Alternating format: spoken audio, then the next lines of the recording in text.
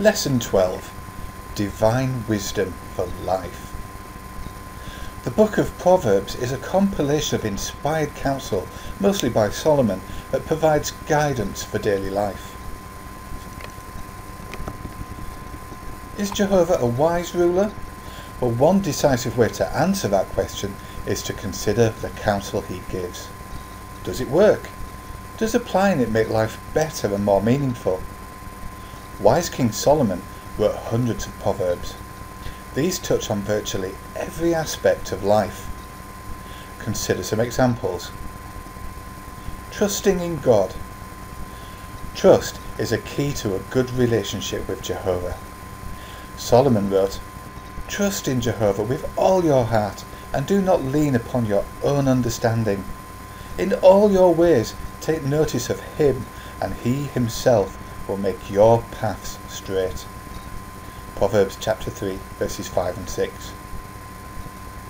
Trusting in God by seeking his guidance and obeying him brings profound meaning to life. Such a course enables a human to make God's heart rejoice and gives Jehovah a reply to the issues raised by his adversary Satan. Proverbs chapter 27 verse 11.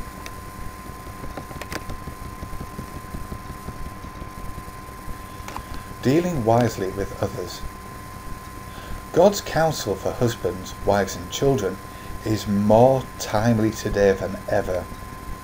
Rejoice with the wife of your youth, God advises the husband, directing that to remain faithful to his wife. Proverbs chapter 5 verses 18 to 20. Married women find in the book of Proverbs a glowing description of a capable wife who wins the admiration of her husband and children. You'll find more about this in Proverbs chapter 31. And children find direction to obey their parents. Proverbs chapter 6 verse 20 reads,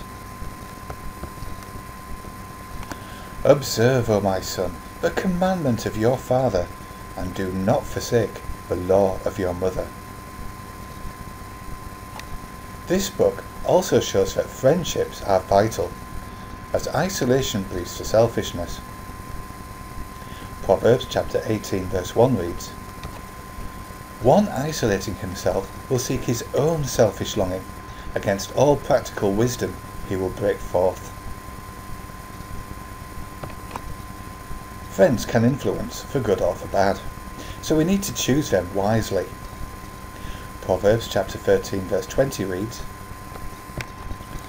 He that is walking with wise persons will become wise, but he that is having dealings with the stupid ones will fare badly.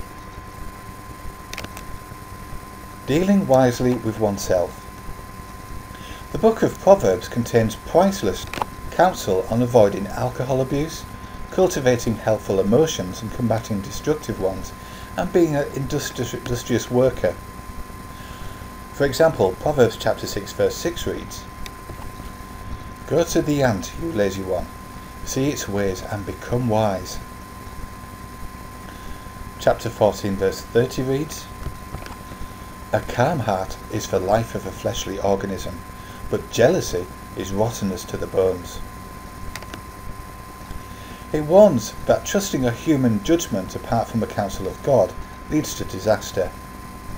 Proverbs chapter 14 verse 12 reads, There exists a way that is upright before a man, but the ways of death are the end of it afterward. It urges us to protect the inner self, the heart, against corrupting influences, reminding us that out of the heart are the sources of life. Proverbs chapter 4 verse 23. Millions of people the world over have found that living by such counsel makes for a better life. As a result, they have ample reason to accept Jehovah as their ruler.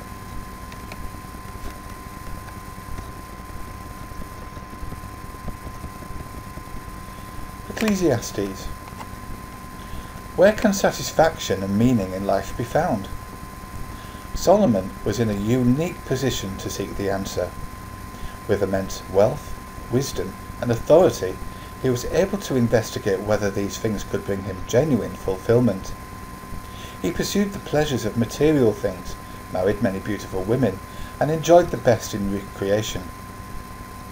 He undertook great building projects. He explored the wisdom of learned writings. What did he find? Everything is vanity. However, he came to this profound realization. The conclusion of the matter, everything having been heard, is Fear the true God and keep his commandments, for this is the whole obligation of man.